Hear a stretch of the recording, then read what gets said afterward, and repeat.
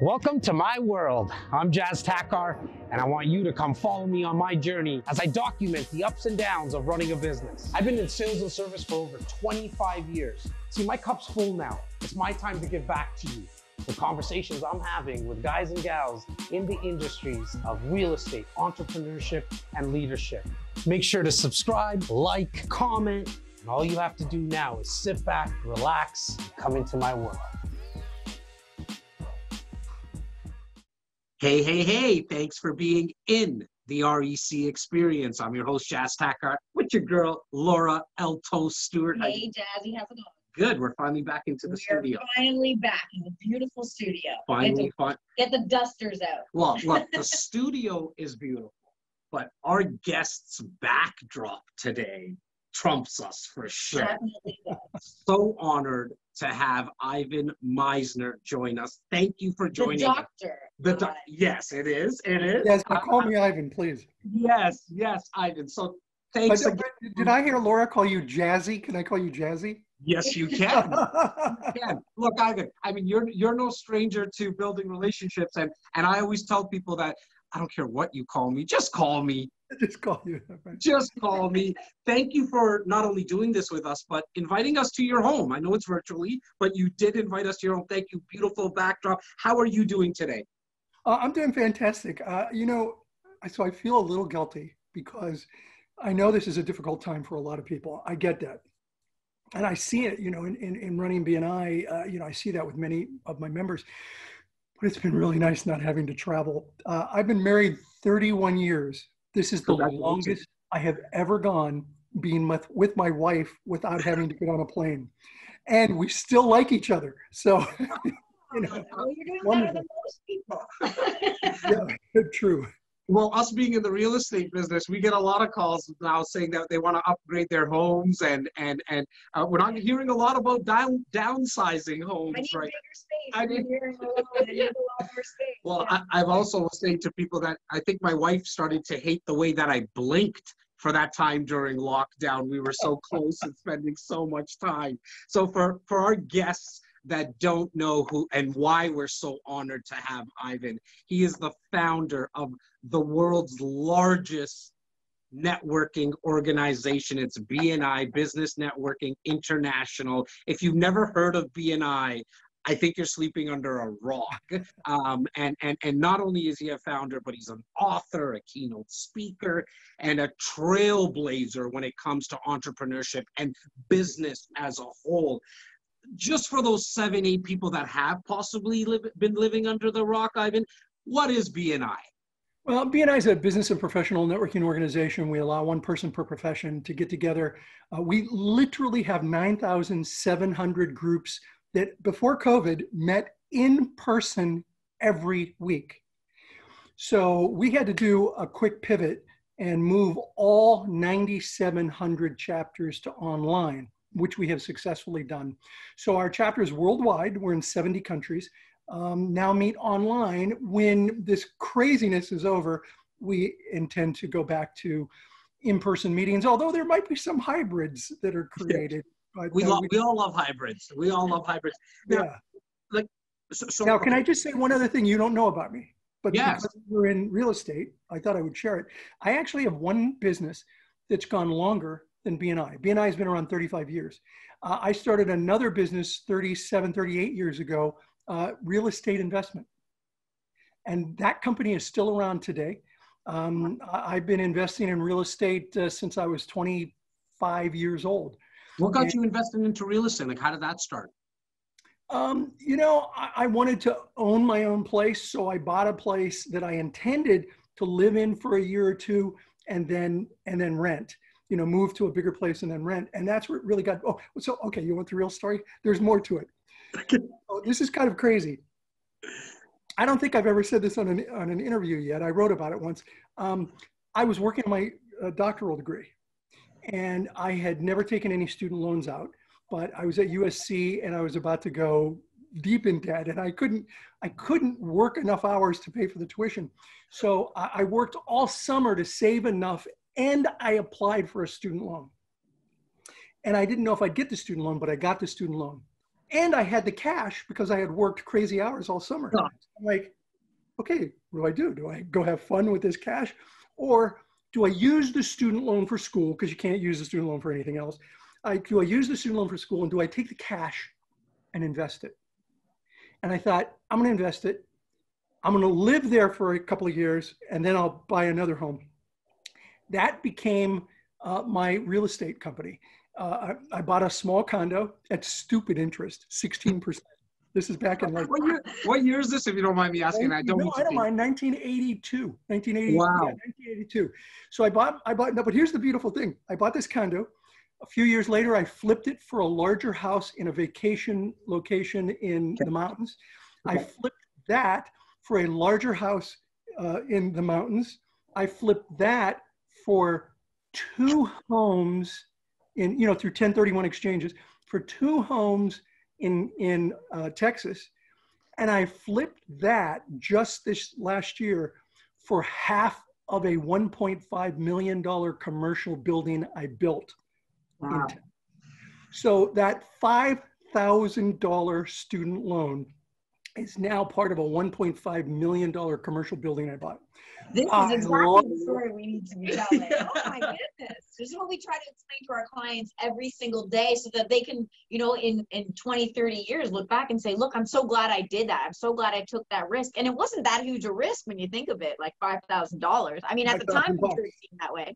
No, it wasn't a big risk. And And uh, but it was the smartest thing I ever did. I mean, I could retire just on my real estate holdings. Wow. I love that. And so, like, not only are you in business, and we're going to talk about BNI and, and, and, and everything you do, the books and all of that, but I love the fact that what you could tell, like, the passion that came out of you when you started to talk about your real estate investing, because it was done so passively as well. It was. And it takes 5% of my time.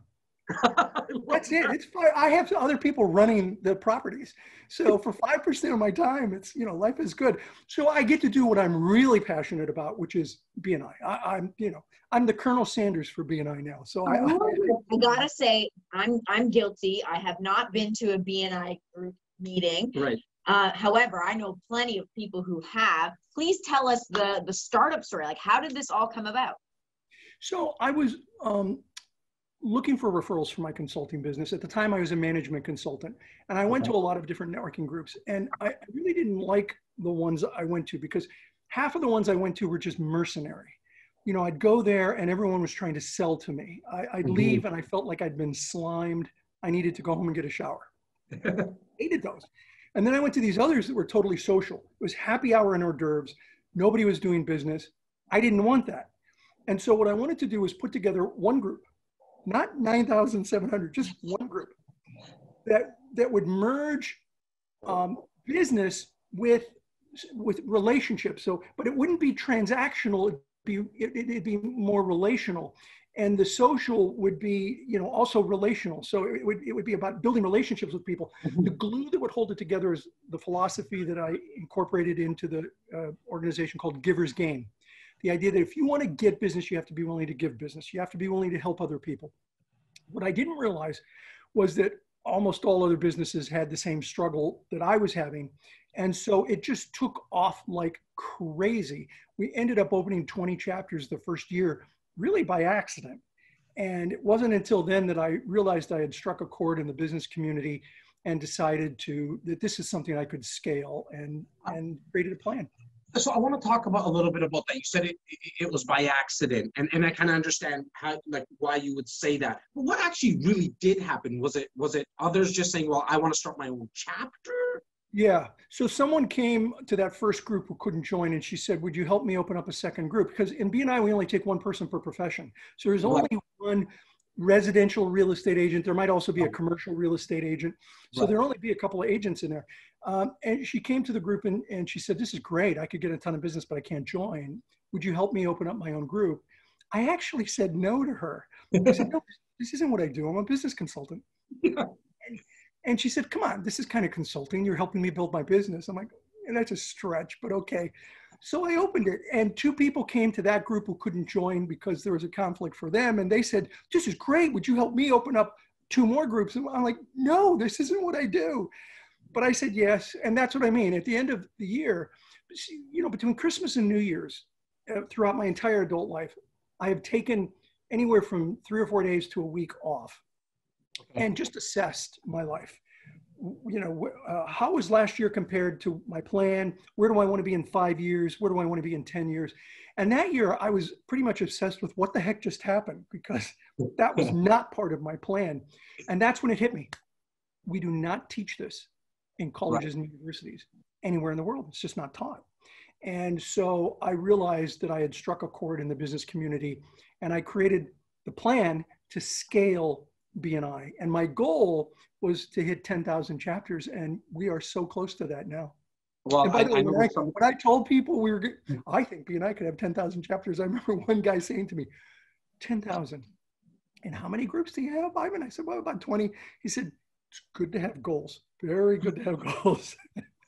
So talk about that a little bit. Like, like I'm sure there's a lot of naysayers, right? Not not only the gentleman that I think I think it was a gentleman that you're you're referencing, but how did you get over that? How did you shut that out? Like, how did you stay so focused? You know, look, if I have any superpower, yes, I'm a dog with a bone. Ah. I am um, incredibly persistent, and so I realized that it would work because people kept coming to me. You know, in marketing, there's this concept of push marketing and pull marketing. Push marketing, man, you're, you're pushing a rock up a hill. Pull mm. marketing is you're getting pulled through the marketplace. It had hit me that this was an example of pull marketing. I was being pulled through the marketplace. And I didn't anticipate it, but I recognized it. And when I recognized it, I thought, I can't ignore this. It would be crazy to ignore this. And that's when I said, this will work. I don't care what people say, this will work because I'm being pulled through. And, and that's when I created the plan to do it. Now, Ivan, I know you're a big proponent of law of attraction. How do you feel that sort of fit in with this theory? Because you definitely, it sounds like this wasn't necessarily something you dreamed of. This wasn't your your idea of, of your career path, but it, it ended up this way anyway. So sort of explain that.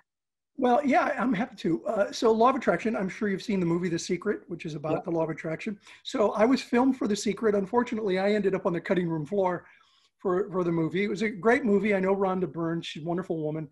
Um, I, um, I'm a b- big believer in the Law of Attraction. But here's the one thing the word action mm. is part of the word attraction.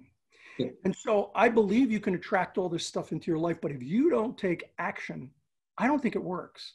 That wasn't the theme that I think she was really looking for in the movie, but I believe in it. I believe I believe in the law of attraction, but you have to take action. You have to have a plan and you have to take action. And when you do that, then the attraction can miraculously work.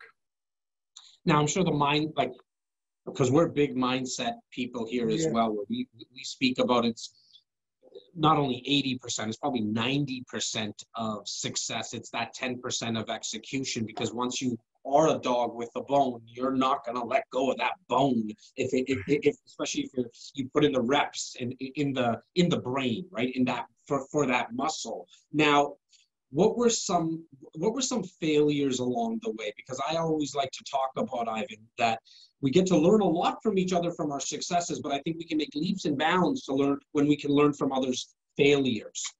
You know, I'm, I'm glad you brought that up. I, I think people look at some individuals who have achieved a level of success and they think, well, you know, he's lucky. Yeah. Uh, well, I'm a real believer that the harder you work, the luckier you get. And, and that you, people have to understand, I made a ton of mistakes. Right. I had a lot of failures along the way.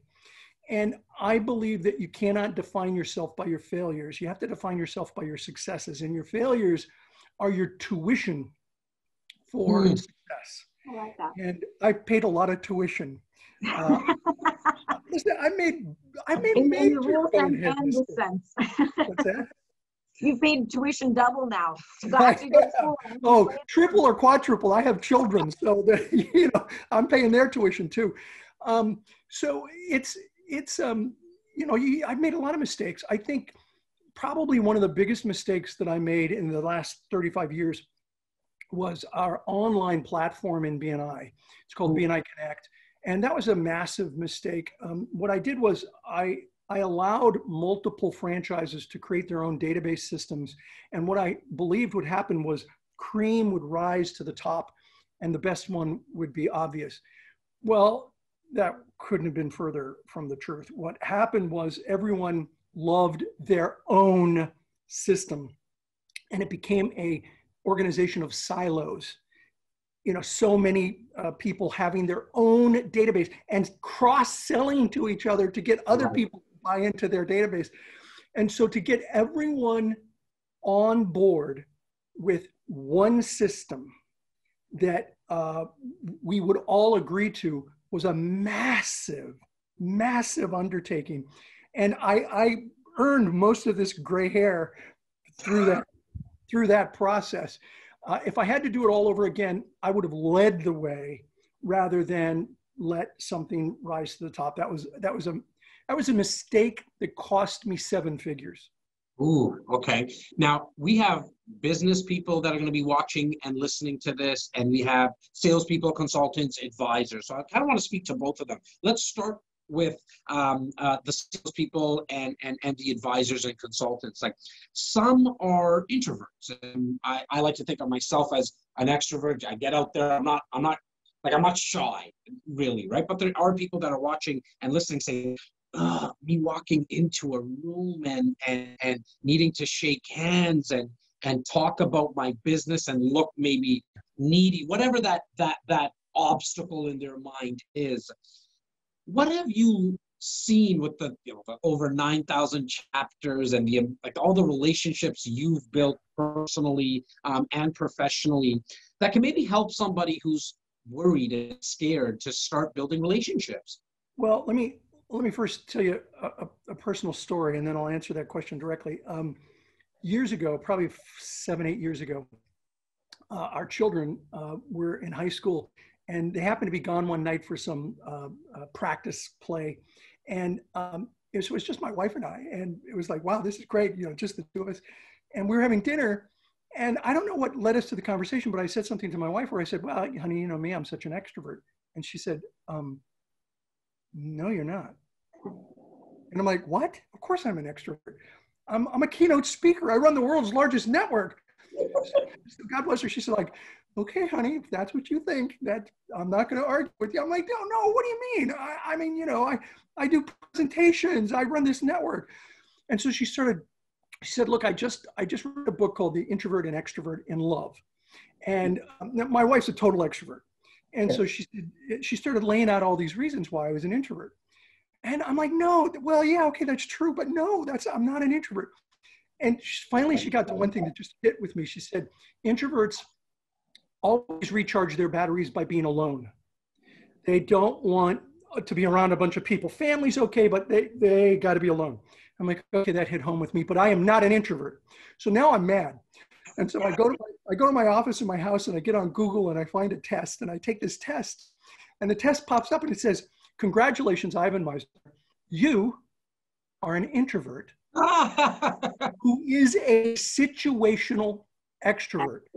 Now go apologize to your wife. No, I didn't say that. so you had the wrong definition. Yeah. What I found out was that uh, I was a situational extrovert. That is, if I'm talking about a subject that I am passionate about, I come mm. across as an extrovert. Otherwise, I generally behave as an introvert. And it hit me all of a sudden why I created BNI the way I did. I mean, think about it. I could have created big mixers with tons of people and everybody network. No, I created small groups of people, one person per profession. You build relationships, you get to know each other. That's totally introvert territory. And it was like, oh my God, I never saw that before, but that's really true. So the answer to your question is I believe introverts can be just as good at networking as extroverts. Both have a challenge. Extroverts love talking uh, uh, they love talking. They have no problem meeting people. What's their favorite subject? Themselves. Themselves, yeah. right? Guy right here. That's a problem. That's a problem. So extroverts have to learn how to shut up and listen. A, a good networker has two ears and one mouth and uses yes. them proportionally. Introverts have a hard time meeting people, but they're great at listening. and they're good at asking questions. So I believe an introvert can be just as good at networking as an extrovert. They just have different skills to develop. So and, Ivan, what I'm really learning here is that your wife was right. From, yeah, yeah, which is often the case. I married up which actually brings me to an, another point. I was looking at the library of books, 24 books that you've written. Congratulations. Amazing, amazing, for sure. I don't know how you have time for it all, but one of them, one of the titles specifically kind of caught my eye, business networking and sex. And I know it says this is not what you think, but can you touch on maybe the differences between males and females and how they network or what they need to look for? Yeah, so um, it was a fun book to do. Uh, I did it with two co-authors, a man and a woman, and we did it as um, we, we surveyed 12,000 people all around the world. And so uh, there were three, every chapter had three sections. The survey says, that was me. Mm-hmm. Uh, he says, and she says. So it was the male perspective, the female perspective, and the data. And what we found was really interesting. We found that women were more likely than men to be relational in the way they networked. Men were more likely than women to be transactional in the way they networked. And what we found was that women actually generated a higher percentage of business through networking than men did, and they did it in less time than men did. And so hmm, there you go. that was, you know, I hate to say it, but that was that's what the data found. So we we then looked at men and women combined that were relational versus men and women combined that were transactional. And again, we found that those people who were relational in the way they networked were much more successful than those who were transactional. Now, you want to see how that plays out? Yes. Imagine um, here's a situation where I was with a man and a woman. I'm having a conversation at a networking event, and a, a second woman walks up the first woman looks at the second woman and says, Hi, you know, welcome to the meeting tonight. Instead of saying, What do you do? which is what a guy would say, or what a lot of people would say, she said, How did you hear about tonight's event? And the woman said, Oh, my friend Debbie invited me. And the first one says, Oh, Debbie, you know Debbie? I know Debbie. How do you know Debbie? Now I look over at the guy, and the guy's sitting there going, uh, Kill me now. What, who cares about Debbie? I, you know, I want to know about business. And, and so they made a connection on a personal level. Whereas guys have a tendency to do a resume, you know, I'm the vice president of marketing for whatever. And, and what we found was that the relational approach worked better than the transactional approach. Is it based on the questions then? Like, j- j- just to leave some of our listeners and viewers with tips, like, if they're going in, they might not be going into like a massive networking event. It might just be at a, a reception, a wedding reception, yeah. or whatever it is, where there's there, there's more than one person, um, and, and they're not by themselves. Is it the is it based on the questions? yeah, absolutely. And I think a great question to ask is, uh, you know, how did you hear about tonight's event, or yeah. what brought you to here tonight? That's a good, you know, opening question. You certainly want to find out what the person does, but some of the other kinds of questions that you might want to ask are, what do you love about what you do? What's your yeah. favorite thing about what you do? And you know, I think an entrepreneur is either working in their flame or working in their wax. And when they're in their flame, they love what they're doing. When they're in their wax, it takes all their energy away. So find yeah. out what their flame is and talk yeah. about that because that gets them excited. Now, I also want to touch on for our business people, uh, uh, ones that are want to maybe start their own chapter, get you to ten thousand a lot, a lot quick, a lot quicker than we wanted to. Um, how does like what, what's the setup around i i, I want to call it a franchisee but i want to um, correct me if i'm wrong if that's not the term that yeah. you use um, BNI is a franchise. okay and so and so what does that look like for somebody wanting to start a chapter what's the process and and kind of what's the time that's involved yeah, so in North America, most of the franchises have already been, uh, the territories have already been taken. So you would reach out to a franchisee, you'd go to bni.com, uh, and or I think it's bnicanada.com uh, in Canada, and um, just connect with the local BNI director and ask what it would take to get a, a chapter started within a franchise. And um, you know, it takes a little time to get a chapter started, but the beauty of starting a chapter is that you're surrounding yourself with people that you know that you feel comfortable with, that you agree to help and support, and they agree to help and support you. Uh, it, it takes a little time, but you have to remember that this time is your marketing time. Yes. and if you look at it as this is my marketing time, then it makes sense. By the way, we found in the survey from Business Networking and Sex, not what you think, um, that it, the average amount of time it takes to network is about six and a half hours a week for those people that are successful, six and a half hours a week um, in networking. And so devote at least that amount of, mean, that's if you want to be average. Right. At least six and a half hours a week to your networking. And we also found that 92% of our respondents said networking has played a role in their success. When have you ever seen 90, actually it's 91.4%. When have you ever seen 91% of any group of people agree to anything? they all said networking was important. Wow. Ivan, we want to be cognizant of your time. We really appreciate having you on today. We want to just leave our listeners and viewers with, uh, we always do this, one final tip. It can be from from your personal life, how you balance things, uh, the books you've written, the companies you've started. What's one tip you'd like to leave with our listeners? I'm happy to do that, but let me add one other thing. If you want to read that, I wrote an article on being an introvert. Go to ivanmisner.com, look for OMG I'm an introvert. I love it. That night, I wrote the blog that blew my mind that I was an introvert. Go, Ivan Misner, OMG, I'm an introvert. Last concept. Um, you know, you know the saying, it's not what you know, it's who you know. Yes. I don't think it's either. I don't think it's what you know or who you know. It's how well you know each other that counts. Because I have an amazing database of names but the question is not who's in my database. The question is who could I call and ask for a favor? Would they take my call and would they be willing to do the favor? It's not just who you know, it's how well you know them. And that means that networking is more about farming than it is about hunting. It's about cultivating relationships with other people.